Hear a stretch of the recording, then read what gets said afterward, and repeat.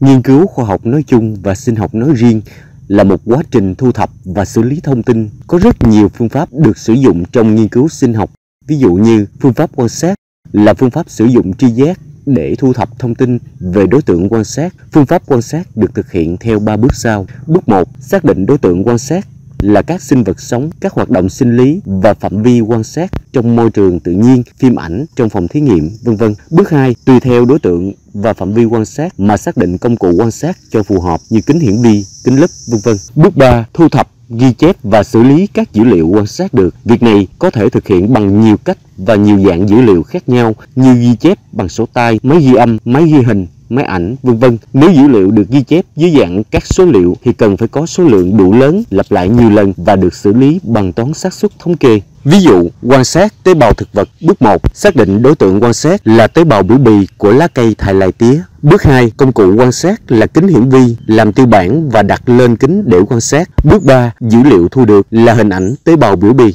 Phương pháp làm việc trong phòng thí nghiệm là phương pháp sử dụng các dụng cụ hóa chất, quy tắc an toàn trong phòng thí nghiệm để thực hiện các thí nghiệm khoa học. Khi làm việc trong phòng thí nghiệm cần thực hiện theo 4 bước sau. Bước 1, chuẩn bị các thiết bị, dụng cụ, hóa chất và mẫu vật để làm thí nghiệm. Bước 2, tiến hành các thí nghiệm theo đúng quy trình và thu thập dữ liệu từ kết quả thí nghiệm, từ việc quan sát và phân tích kết quả. Người nghiên cứu giải thích và kết luận cho kết quả thí nghiệm đó. Một số kỹ thuật phòng thí nghiệm được dùng ở trung học phổ thông gồm phương pháp giải phẫu như rễ, thân lá, phương pháp làm và quan sát tiêu bản các kỳ của quá trình trình nguyên phân. Bước 3. Báo cáo kết quả thí nghiệm. Bước 4. Vệ sinh dụng cụ phòng thí nghiệm. Ví dụ, thí nghiệm quan sát nguyên sinh vật. Bước 1. Chuẩn bị dụng cụ, hóa chất, mẫu vật gồm nước ao hồ, kính hiển vi, ống hút, giấy thấm, lamen. Bước 2. Tiến hành thí nghiệm, nhỏ 1 đến 2 giọt nước ao hồ lên lam kính, sau đó đậy lamen lại, dùng giấy thấm thấm nước thừa đặt lên kính hiển vi để quan sát. Bước 3. Báo cáo kết quả thí nghiệm, mô tả hình dạng nguyên sinh vật quan sát được, vẽ ảnh, nhận xét, đánh giá. Bước 4.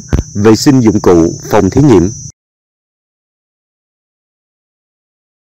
Phương pháp thực nghiệm khoa học là phương pháp chủ động tác động vào đối tượng nghiên cứu và những hoạt động của đối tượng đó nhằm kiểm soát sự phát triển của chúng một cách có chủ đích. Để thực nghiệm khoa học, người nghiên cứu cần tiến hành theo 3 bước sau. Bước 1. Chuẩn bị các điều kiện thí nghiệm, thiết kế mô hình thực nghiệm phù hợp với mục đích thí nghiệm. Bước 2. Tiến hành thực nghiệm và thu thập các dữ liệu. Trong bước này, người nghiên cứu có thể dùng các phương pháp khác nhau tùy mục đích thí nghiệm, nghiên cứu và phân loại để định danh các loài sinh vật, tách chiết các chế phẩm sinh học, nuôi cấy mô tế bào, vân vân. Bước 3. Xử lý các dữ liệu thu thập được và báo cáo kết quả thực nghiệm. Ví dụ, để đánh giá ảnh hưởng của nhiệt độ đến sự nảy mầm của hạt, ta có thể thiết kế thí nghiệm như sau. Bước 1. Chuẩn bị 200 g đậu xanh, nước, dụng cụ làm đất, dụng cụ tưới nước, máy ảnh, hai lô đất. Bước 2. Chia 200 g đậu xanh thành hai phần. Một phần ngâm ở cốc nước 20 độ C và phần còn lại ngâm ở cốc 40 độ C trong 3 giờ. Sau đó gieo trên các lô đất, tưới nước hàng ngày và lượng nước như nhau ở hai lô. Quan sát và so sánh số lượng hạt nảy mầm ở mỗi lô thí nghiệm. Bước 3. Đưa ra giải thích và kết luận một số vật liệu và thiết bị nghiên cứu môn sinh học như kính hiển vi có hai loại là kính hiển vi quang học, nguồn sáng là điện hay ánh sáng mặt trời,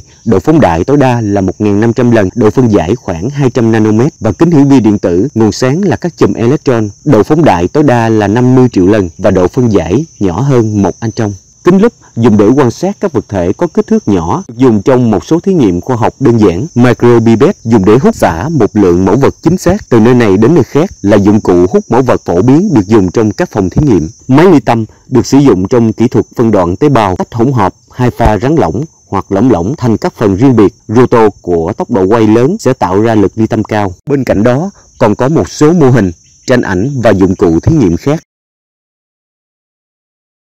các kỹ năng trong tiến trình nghiên cứu môn sinh học.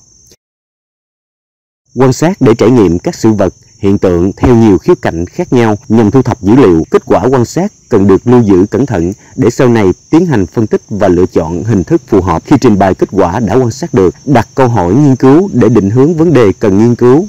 Xây dựng giả thuyết dựa trên kết quả quan sát được để đặt ra vấn đề cần nghiên cứu. Đây là bước đưa ra giả thuyết hay câu hỏi cần phải kiểm chứng để biết đúng hay sai thiết kế và tiến hành thí nghiệm chứng minh cho giả thuyết về vấn đề nghiên cứu được đề ra.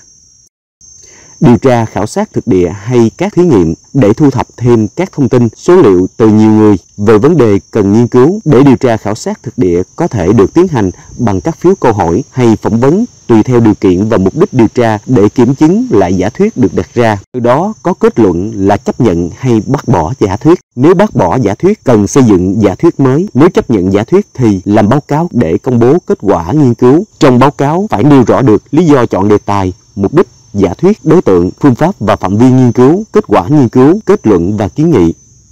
Ví dụ, khi quan sát hai chậu cây cùng loài được đặt ở hai vị trí khác nhau, từ đó đặt ra câu hỏi hình thái của thân cây có liên quan đến vị trí đặt chậu cây không?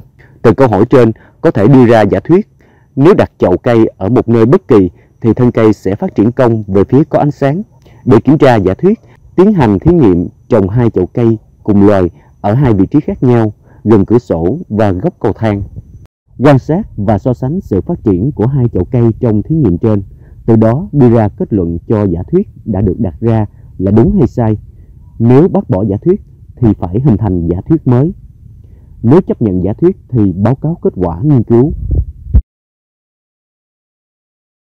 Tinh sinh học là ngành khoa học tìm kiếm, phát hiện và mô phỏng quy luật vận động của thế giới sống trên cơ sở phân tích nguồn dữ liệu sinh học thông qua các công cụ quản lý, xử lý dữ liệu trên máy tính và mạng Internet.